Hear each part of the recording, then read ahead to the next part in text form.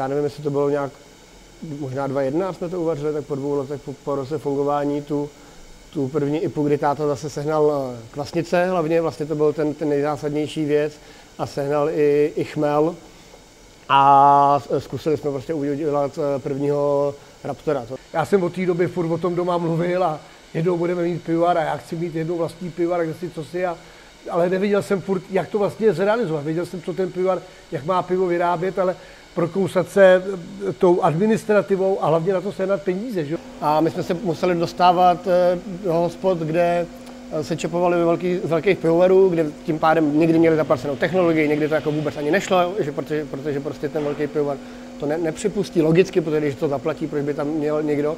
A my jsme se nějak na, museli vlastně na ten eh, trh dostat. No.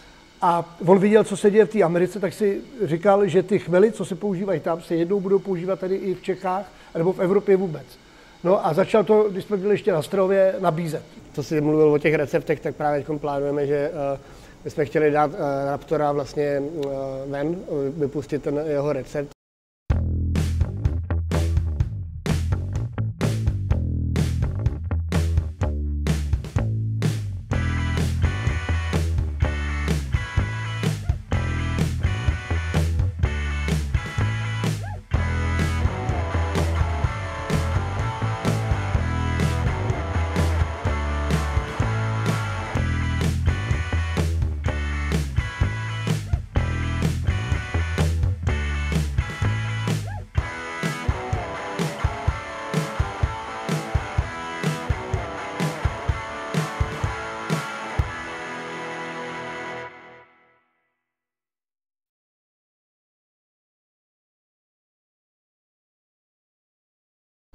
Přátelé, dobrý den. Vítejte u dalšího dílu Osobnosti piva.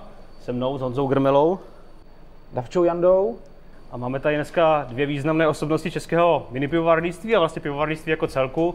Martina Matušku. Dej štěstí. Adam Matušku. Ahoj, ahoj. Kluci, díky, že tady můžeme s vámi být uh, u dvou kohoutů, což není váš pivovar, ale vlastně to je taky trochu váš pivovar.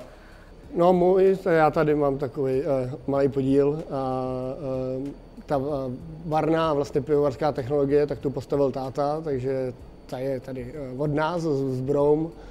A, a pak tady vaří i Sládek, který se učil vařit pivo u nás, uh, u Matušky, uh, takže to je hodně s náma propojený a samozřejmě pak tady ještě je uh, hodně piv od Matušky na Čepu, takže se náma to je hodně propojený, jak finančně nebo z toho hlediska toho společnictví a i z hlediska toho piva. Martine, když jsi opustil sklepy velkého pivovarského světa, vlastně se dostal do vašeho Matuškovic pivovaru. Co byl ten zásadní impuls?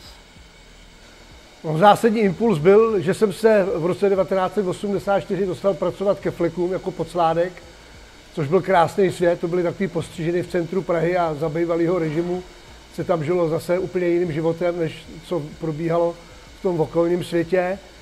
A jednak jsem tam viděl to řemeslo od A do Z, od našrotování až po výstav piva jsem tam e, dělal a ta historie a ta technologie mě hrozně bavila. A potom těsně po revoluci tam začali jezdit kluci ze Spojených států, kteří už vlastnili pivovary. Ze San Franciska konkrétně přijel majitel mini pivovaru, mladý kluk a říká, já mám svůj pivovar, tak jsem se začal zajímat o to, jak takový mini pivarnictví funguje, existuje a dalo mi to velký impuls k tomu, že jsem začal o tom snít a toužit o tom mít jednou svůj vlastní pivovar. No. To byly ty flekovy, určitě, hodně zásadní. A Ivan Chramosil, o kterém jsem tam dělal.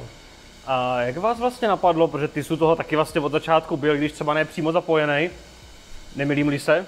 Jo, já jsem tam byl od, nebo od začátku, tak to táta asi jak to vnímá, ale táta to stavil a já nevím, jak 14 dní potom, od, po té mojí, mat, nebo poslat i po otevření, po první várce a já jsem odmaturoval a hnedka jsem do toho naskočil, ale pivovar se stavil u nás na chalupě, takže samozřejmě jsme v tom byli zapojená celá rodina, ale ten začátek ten byl táto. To, to, to, a ještě si říct, že ta cesta k tomu byla dlouhá, když já mluvím o nějakém roce 1989, když tam začínají jezdit ke flekům eh, na získání nějakých informací nebo na zkušenou ty kluci z Ameriky nebo z Japonska, tak dejme tomu rok 1990 a náš pivovar vznikl až v roce 2009, protože já jsem od té doby furt o tom doma mluvil a jednou budeme mít pivovar a já chci mít jednou vlastní pivovar, kde si co si a ale neviděl jsem furt, jak to vlastně zrealizovat. Věděl jsem, co ten pivovar, jak má pivo vyrábět, ale prokousat se tou administrativou a hlavně na to sehnat peníze, že jo? protože i když Sládek většinou mývá velmi dobrý plat,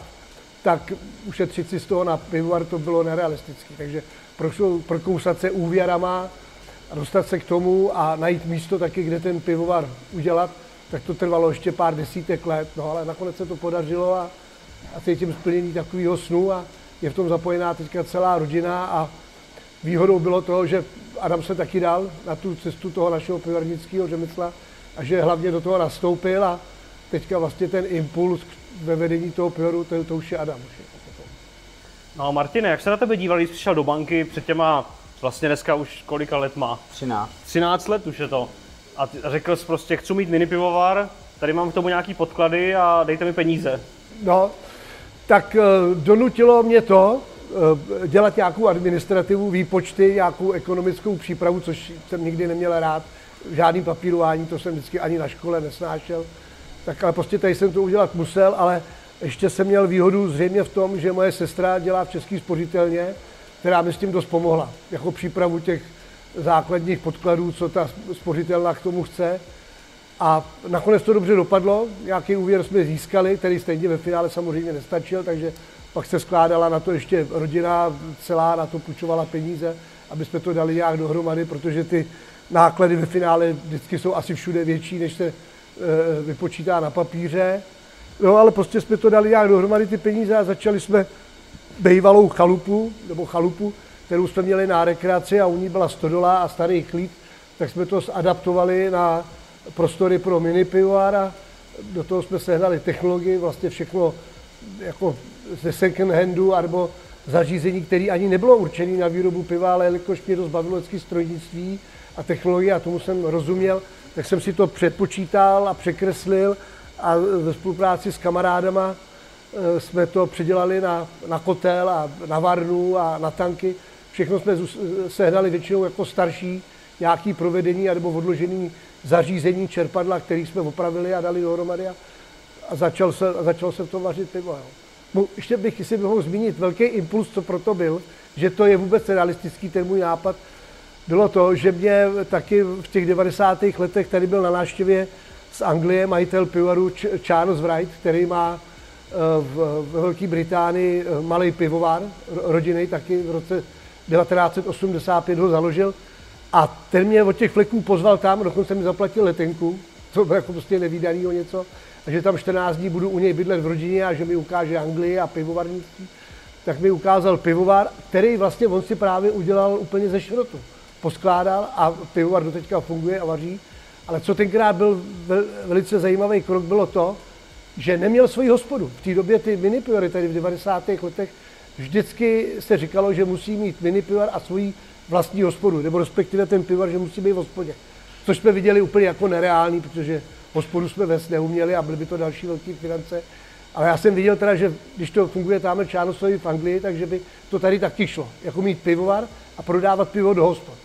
Ale v těch 90. na to ještě bylo brzo, protože ty hospody na to nebyly připraveny. No a pak to podhoubí tady taky vzniklo, že některé ty hospody se začaly zajímat o ty řemeslní, nebo dneska se říká ty kraftový piva, a byli ochotní si to pivo od nás koupit. Takže takhle jsme začali asi s osmi odběratelama, kteří jako věděli, že budeme si dělat pivo Matuška, že bude vznikat a v té době jsem byl v pivoře na Strahově, to pivo taky tam bylo už mezi tou odběratelskou klientelou známý, takže věděli, že snad pivo se podaří a měli jsme takhle nasmouvaný už klienty dopředu, aniž by byl pivovar.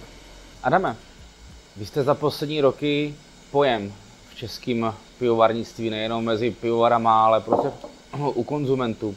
A kde byl nápad myšlenky rakety? První byl Raptor, eh, ta, ta, s, tou, s tou IPou, a, eh, nebo s vrchně kvašeným pivem. A, eh, tak táto to taky znal z cest a já jsem to znal taky právě z cesty zase z té Anglie, kdy jsem byl u, u Jamieho, tady zase tak, to je odběratel, nebo odběratel, té době zase se učil u táty vařit pivo na Strahově, tak jsme, jsme se poznali. A já, když ho táta vzal na degustaci do Budějovic, tak v autě jsem, jestli bych na, někdy za, kvůli angličtině nemohl za ním vět a on v té době ještě se totálně nevěnoval jako hospodám a pivovarnictví, ale měl už svoji jednu takovou malinkatou hospodu v Yorku a já jsem tam za ním uh, jel nakonec na měsíc a tam jsem úplně poznal vlastně ten pivní svět, jaký byl na tom západě, protože v té době já jsem znal teda jenom tátovo pivo z toho, což byl Jantar v té době jako a, a pšeniční, ale ty uh, API a IPy vlastně to bylo neznámý, tak tam jsem to objevil já. Uh, a potom já nevím, jestli to bylo nějak, možná 2.1 jsme to uvařili, tak po dvou letech po, po roce fungování tu, tu první IPu, kdy táta zase sehnal kvasnice hlavně, vlastně to byl ten, ten nejzásadnější věc a sehnal i, i chmel a zkusili jsme prostě udělat eh, prvního Raptora, to, to, to co jsme bouchali pitlíky a kvasili to v peřinách. Táta to tam kvasil v peřinách a, a vařili jsme Raptora.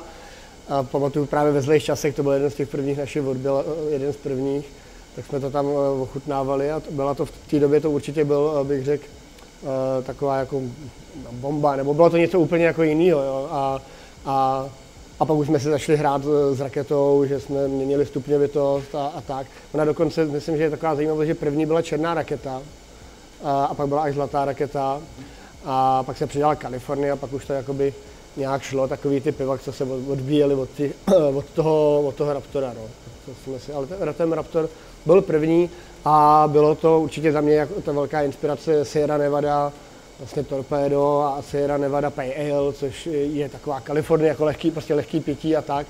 A, a vlastně i s tou Kalifornií to bylo docela zajímavé, protože my jsme eh, vařili první pivo tmavý, byla 14, že jo, se vařila. Uh-huh pak se přidal to pšeniční a pak se měli světlou třináctku a trošku jako s tou dvanáctkou, protože přeci jenom eh, těch hospod bylo málo a byla vždycky na, na čepu byla většinou to pivo z toho velkého pivovaru a ta cena a tak, tak to jako nebylo tak jednoduchý. Takže my jsme přišli s dvanáctkou spíš z Kalifornii vlastně, my jsme dvanáctku někdy jakoby, nebo teď už ji máme, ale ten začátek prorazit i s tou cenou, tak byla ta, ta, byla ta Kalifornie, která suplovala tu, jakoby vlastně českou dvanáctku, ale ona to byla právě APA. A ta moc se chytla vlastně doteď, uh, to je nejprodávanější naše pivo. No jaký to bylo v té době přijít za českým hospodským a říct mu, tady mám ale, chutná to po ovoci a je to úplně jiný než ten ležák, co čepuješ posledních 40 let? No tak jestli k tomu můžu, tak uh, ano, Raptor byl vlastně první svrchtě kvašený pivo typu ale. My jsme ještě mezi tím dělali svrchtě kvašený, jsme dělali pšeniční, ale Eh, to se tady tak nějak jako moc nechytá v Čechách, ty pšeniční piva. A uh, myslím si, že už tady Honza Kočka k tomu udělal osvětu těm svrchtě kvašeným pivům, protože ten už, myslím, v Kocouru vařil v té době nějaký ty svrchtě kvašený ejly. A, uh, a lidi to, když si vzali Raptora hostinský, když ho vzali, tak to hrozně lidem chutnalo. Jo? Najednou to bylo něco jiného a vonělo to, zase nám to povedlo asi i dobře udělat, že to prostě lidi jako pili, takže ty hostinský to pak naopak žádali. My jsme udělali první várku, ta byla hned vyprodaná. My taky v té době mluvíme o varně 5 hektolitrů. Jo, my jsme začínali s pětkou varnou, takže to byly malý objemy, tak to se rychle prodalo a pak jsme viděli ten pozitivní ohlas od těch odběratelů a od lidí, co na to naše pivo chodějí. Takže jsme to pak vařili víc a víc a bylo to strašně žádaný to pivo. Takže jsme říkali, jo, tak určitě a to. No, k tomu vlastně ta, říká tu technologii pětku, tak když jsme právě u Kohoutu, tak je, eh, tady už teda je vlastně ta druhá varna, to je 10 hektolitrová, ale jsou tady ty tanky.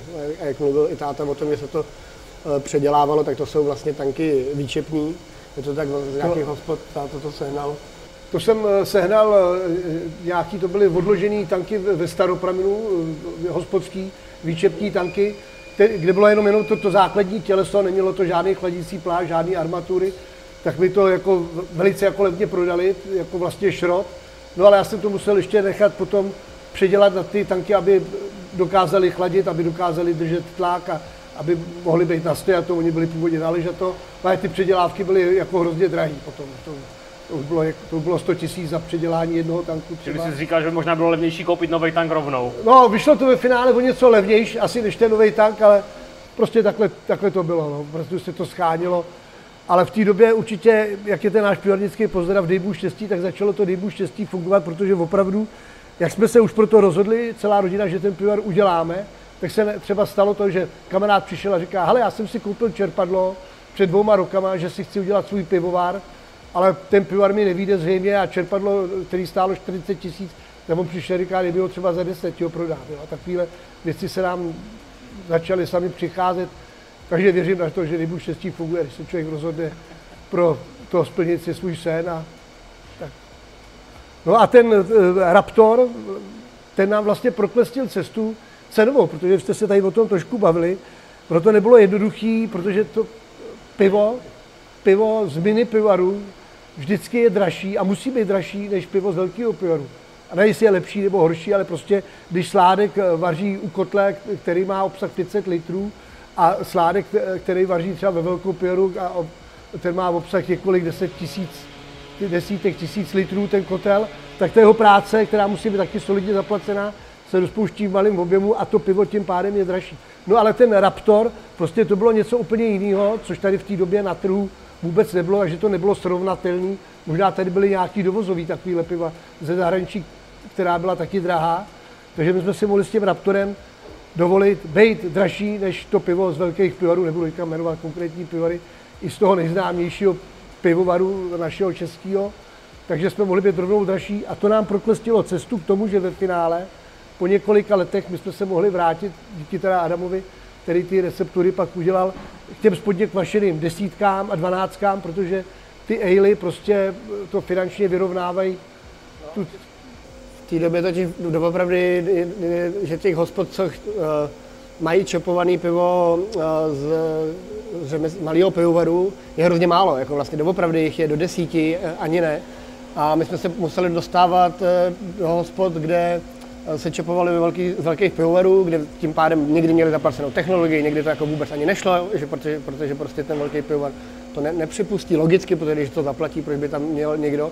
A my jsme se nějak na, museli vlastně na ten eh, trh dostat. No. Tak ten, ten Raptor uh, uh, a potom ty dal, na, další svrchně kvašený piva nám v tomhle tom hodně pomohli a že se, jsme se dostávali a já jsem táto obcházel ty hospody, uh, já taky, že mám takovou, že jsem seděl a viděl jsem, když tam měli z jednoho velkého a z druhého uh, pivovaru velký, tak jsem viděl, že ta technologie, ten výčep pravděpodobně uh, si třeba koupili sami nebo si nějak nepřispěli, že to jde tam, tak jsem třeba oslovil manažera nebo nechal jsem si zavolat manažera ve 20 letech, že jo, a on tam přišel a říkám, my máme pivovar, mohli byste, nechtěli byste pivo, tak zkuste přivést třicítku, tak jsme přivezli třicítku a doteď zrovna tenhle konkrétní případ uh, od nás bere pivo. Jo. A, a tím, to takhle, tím to začínalo, ale muselo to být trochu jiný a právě kdyby jsme asi měli jenom desítku a dvanáctku, tak uh, ona by byla samozřejmě trochu jiná, ale ten, ten, ten rozdíl by nebyl tak zásadní bylo by to mnohem těžší. Jo. Ale v té době ten, ten, ten Raptor, když se přivez prostě Raptor, tak všichni úplně, ty,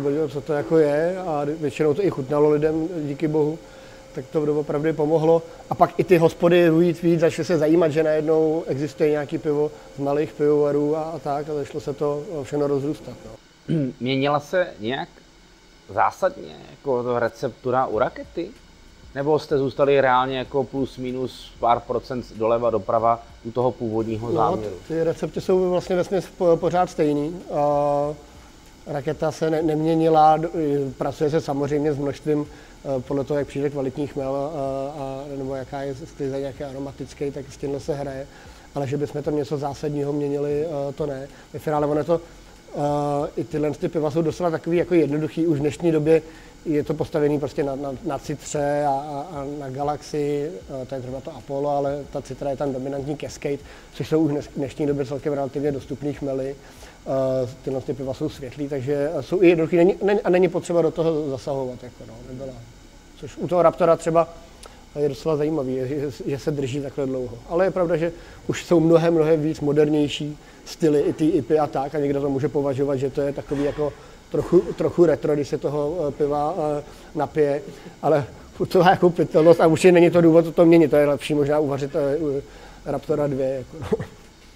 No, jak složitý bylo tehdy ty suroviny na to pivo získat? Chápu, že ty kvasnice se museli jakoby dovést, že jo? ale asi když člověk zavolal tady nějakému distributorovi chmelu, který na mini pivovar nebyl víc ještě vůbec zvyklý v té době, a řekl, potřebuju tady 50 kg citry, tak se na něho díval, jako, že co po mně chceš. No, tak, tak to zase vítá. Tuhle tu story s tím chmelem zahraničním. Je tady firma Brelex, nevím, jestli jako reklama nebo reklama, firma Brelex, pan Čelidák, když jsem dělal na Strahově, tak eh, ten byl na nějaký stáži ve Spojených státech u chmelařů a vrátil se a založil si svoji firmu, protože už viděl, co se v té Americe děje, protože v té Americe byli i v tom mini napřed, protože já bych řekl, že američani působili takovou tu revoluci v tom mini pivarnictví, že to oživili znova ty staré receptury a ještě vyšlechtili nový odrůdy chmelů, které jsou zajímavý eh, pro ty piva, co děláme. A on viděl, co se děje v té Americe, tak si říkal, že ty chmely, co se používají tam, se jednou budou používat tady i v Čechách, nebo v Evropě vůbec. No a začal to, když jsme byli ještě na Strově, nabízet. Když jsem ještě dělal sládka na Strově, tak přišel, jestli bychom nějaký tam chmel nechtěli a, a v té době ještě jako ta doba na to nebyla, aby se to na tom Strahově uvařilo. Ale my, když jsme si pak udělali svůj pivovar, tak jsem si na to vzpomněl, že prostě on nabízí, myslím, že tenkrát, eh, co to bylo? Cascade, to bylo vůbec jako revoluční chmel, první takový Cascade a Citru a Amarillo nabízel. Takže jsme to nějak sestavili, že s našima českýma chmelama dohromady. A ten chmel jsme si objednali. Díky němu, protože on tady s tím chmelem byl. A to pivo se povedlo, no a pak jsme se začali zajímat o další a o další chmele. Já bych ještě k těm chmelům, nebo jak jste se ptali, jestli jsme něco měnili zásadního u té rakety, tak pro posluchače, nebo kdo se na nás dívá, že s chmelem je to trošku jako s vinou révou.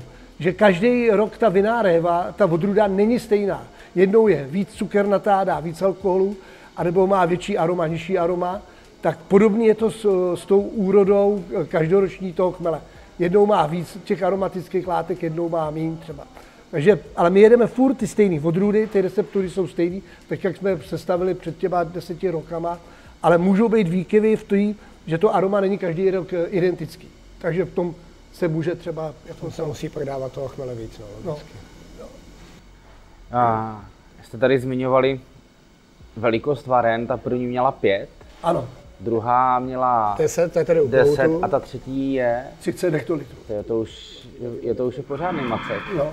A říkáte, eh, jako, že rodina a firma stále jste jako, jako všichni jako rodinný tým, nebo tam ještě někdo, kdo vám pomáhá někde jako zvenčí, kdo jako rodina není? No není, nás je tam teďka kolik, asi 16 lidí už, jo. No, máme 15 zaměstnanců, uh, takže a musím říct perfektní kluky, profesionální sládkové od Honzy Eimberta, který uh, je vlastně jako ten vrchní sládek, který za, za to, za to teď jako ručí, nebo prostě má pod sebou ten tým. Uh, superový kluk a jsou tam další, co, uh, Dominik, který vystudoval taky vlastně pivovarskou školu pod Skalskou a tak, ale jsou tam i lidi z vesnice, uh, od nás vlastně z Brom, který zase ten Honza, nebo my jsme je naučili uh, to, to vaření a, a vaří tam i pivo nebo stáče a tak, takže máme tam tým 15 lidí a, a takže bez, bez nich by to nešlo samozřejmě. To už. A jak se k vám ty lidi dostávají? Je to prostě, že napíšou životopis, ale chtěl bych vás vařit pivo, můžu přijít na pohovor?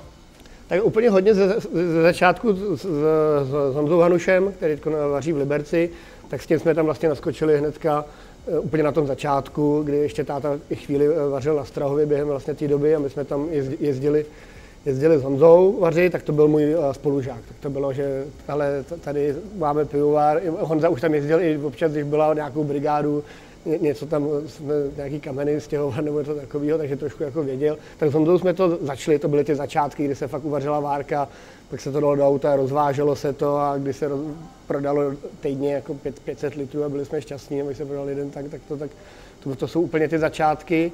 Uh, potom hodně baseball, protože já jsem hrál uh, baseball uh, dlouho, a tak jsem tahal prostě kluky buď na lahve na brigádu, kdy, kdy se to bylo, a, a nebo potom tam zašli i, i pracovat, což je právě Lukáš Tomca pří, případ, to je můj kamarád úplně z dětství, baseballista, ten potom jel do světa, vařil vlastně pivo i v Kanadě a je tady Michal Král, který teď vaří v Zichovci, tak ten zase taky baseballista, chodil tam ke mně, taky jsme ho to naučili prostě od nuly, baseballista, Eh, pak, pak šel do Zichovce a, a tak, takže potom hodně ten baseball tam určitě nám pomohl. Dneska mám Kriegel Bierketa doma jo, ano, festivalu, ano, no, ano, ano, ano, akce a to ano, už je teda hodně let. Taky no a to byla taky jedna z takhle z akcí, kdy jsme zase se pokusili ty malý pivovary dostat na, na tu louku, že jo, tam krám a to bylo taky fajn. Tak to je hodně dlouho, to je možná 10 let, ale Může nevím. být, no.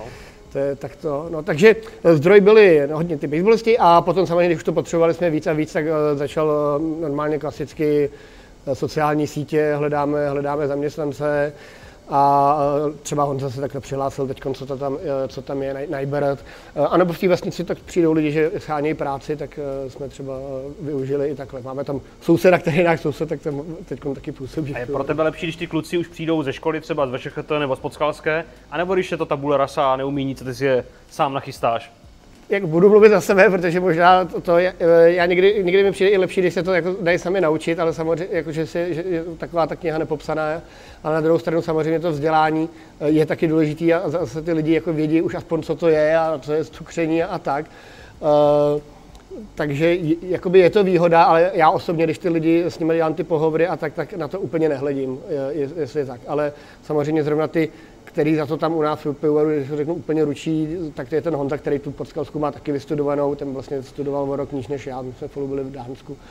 Eh, a, a teď ten Dominik a ještě tam je David, který zase má ještě vystudovanou i VŠHT, a, který je z Plzně. A, ale v ruku v ruce jsem zadej tady kluci, prostě, co tam je náš místo starosta z, z Broumu, a který prostě pivo, pivo, má, pivo má rád prostě a dá, a je, je prostě stejně dobré, jak tyhle ty kluci. Jo. Je, to, je to potom ve finále, ono to zní jak blbě, ale je to o tom srdíčku, no. co tam jako ty lidi do toho dají prostě. No. Inspirujete se třeba receptama, který uvolňuje Brudok, nebo je to prostě spíš pro vás jako jenom pouza toho pivovaru, že říká, my vám dáme recepty. Tam je tam něco, co tě, co tě zauje, zaujme, nebo zaujalo vás tam něco? Jak jste řekli... Já, jak to pak zrovna, tohle je docela dobrá věc, protože zrovna něco takového plánu, ale nechám možná mluvit tátu za ty no, začátky. Brudok na začátku, když jsme pivar nějak rozjížděli 2009 a myslím, že 2010 tady u nás byli kluci z Brudogů, taky byli asi tenkrát ještě vlastně v relativním začátku. Jako přijeli k vám přímo? No, byli u nás, no a to bylo zase přes uh, Michael, Michael O'Cole, který tady žil chvíli, angličan, který tady otevřel i, myslím, zubatýho psa, hospodu. Aha, jasně. No a tak ten tady jako přines, já, my jsme se s ním zase seznámili, že on tady žil a teďka pil Raptora, právě Raptora a tak jeho manželka nás kontaktovala, že on by něco s tím Raptorem jako do světa, nebo co chtěl dělat. Tak on tam přitáhl kluky z Brudogu, ty tam byli, u nás, u té pětkové varny, ten, v tom chlívě, jo, jako, jo, tak, tam, tak tam byli a takže byli na návštěvě a byla taková nějaká idea, že bychom mohli spolu vařit tenkrát nějakou várku, jak to bylo moderní, nebo je asi my u nich, oni u nás, ale k tomu pak ve finále nějak nedošlo. A teďka v současné době Adam má nějakou takovou zajímavou story právě o tom, inspira, o tom inspirování se. Někde. No, tak samozřejmě všichni se inspirují ve světě, je to důležité se inspirovat, protože jinak bychom se neposunuli. Stejně jako kuchaři jezdí uh, do světa, tak ale to si mluvil o těch receptech, tak právě plánujeme, že my jsme chtěli dát uh, Raptora vlastně uh, ven, uh, vypustit ten jeho recept. Ono to ještě nebylo, už to taky zase není vůbec nic převratného, ale uh, rádi bychom ho stejně jako Brudok zveřejnili celý ten recept. A zároveň k tomu právě chystáme, teď to už je v rámci, už to je všechno nafocený a teď to jako sepisujeme, i, i vlastně takovou jako kuchařský manuál, uh, aby si to lidi mohli doopravdy doma, ale i ty úplně uh, pivem nepolíbený, pardon, pivem nepolíbený, uh, aby si to mohli doma uvařit. A tak, tak jsme to teď uvařili už u mě doma na plotně, teď už to pijeme, je to docela dobrý, povedlo se, povedlo se to, ale fakt jsem to dělal úplně... A je to aspoň podobný tomu? Jo, právě Když je. to máš v hlavě, tak to se asi těžko no, já jsem to psal, já jsem to chutnal sám včera a dneska jsem to teprve přijel s klukem a včera jsem to ochutnal, říkám, eh, že jsem psal fotku, tak to bude moc zavřít pivovar, jestli, že se takhle pak to každý uvaří a takhle by se jim to povedlo, tak by to bylo fajn. Uh, je, je samozřejmě na té na plotně eh, to bude trochu něco jiného, protože my to přece jenom vaříme dekokčně, ale, my, ale ten recept chceme vypustit uh, úplně kompletní, tak jak to vaříme v pivovaru, aby si to mohli uvařit i ty profíci, jako mluvím profíci, domovarníci, co se tomu věnují a mají, mají ty technologie, protože těch je doopravdy velké, velké množství, tak aby to i oni mohli uvařit, ale chci právě udělat i takovou cestu, tak jako popsat Eh, jako třeba Roman Vaněk, on je můj kamarád a mám ho rád a jak on píše ty, tak, ty kuchařky tak jako hezky, jednoduše, hodně obrázkama, hodně obraz... tak to takový něco připravujeme. Doufám, že se to povede. Teď jsme trošku zaseknutí na, na vymyslet jak stezování, aby lidi to, to, to zvládli. Uh, ale nám se to doma povedlo s polštářem, no tak uvidíme, eh, tak doufám, že že se to povede, a že, ale právě jako, tak, takže to je tady trošku brůdok, že vypustíme stejně jako oni na stránkách, ale ještě k tomu chceme i dát všechny ty suroviny, že si lidi od nás, my jim pošlem balíček, dvě krabice nebo tři krabice, do kterých se to, to, to vejde a oni, uh, při, jim přijde všechno s fotkama, s manuálem a zkusí to doma uvařit. Tak doufám, že se nám to povede dotáhnout do konce. Kdy to můžeme očekávat? No je to teď, teď už to je ve fázi takový zase tý, uh, papírovací, bohužel, kdy se to právě musí dát hezky na papír sepsat, což už teda máme. Mám teď jako uh, superví lidi, kteří mi s tím pomáhají, to nafocený moc hezký fotky, takže teď nejenom to dávat jakoby hm, tomu hlavu a patu, já nevím, uh, tři týdny, do, do měsíce, do měsíce, pak to ještě možná chci zkusit, že až to fakt budu mít, že to zkusím někomu dát, jakoby, a si to zkusí doma, nechci u toho být, a tak jenom, aby tam nebyly nějaký, protože přeci jenom, když to dělá člověk, který se tomu pohybuje celý život, tak některé věci mu můžou být uh, jasný, ale člověkovi některému ne, nemusí. Ale pracujeme na tom, tak do měsíce, doufejme, ale jinak určitě bude to u nás na Facebooku, určitě o tom eh, to budeme zveřejňovat a budeme se na to těšit. No, to znamená, to že chápu tak nějak správně, že byste potřebovali zhruba pět domovarníků, kterým to, co si říkal, jako nabídnete, oni to podle toho uvařej a pak by vám ideálně mohli poslat lahev zpátky, aby, no ne, takhle mi dává logiku, abyste řekli, hele, trefil se, trefil se, trefil se, jo, jakože, jo, a to, víš, to, jako... To určitě, tohle je v plánu a to je právě ta druhá fáze, to, když si to, tak to přesně si to si uhodil, co tam ještě je zatím schovaný a je to právě, protože ten Honza nejbude o něm mluvím, tak on je uh, taky nadšený domovarník a, a má to i v té komunitě hodně, takže právě on říkal, že i nějaká taková docela velká soutěž mezi domovarníkama, kde i se vaří, když se řeknou, budeme všichni vařit jeden styl a ochutnáme se tam mezi sebou. Tak to tam právě uh, chceme nabídnout, jestli si by si uvařil toho Raptora, pak by to poslali k nám do pivovaru, my bychom to právě odegustovali a třeba pět nejlepších chceme potom pozvat do pivovaru a ať tam s náma stráví celý den, dostanou napít, najíst, budou pojď, ať se ptají na cokoliv a všechno vidějí.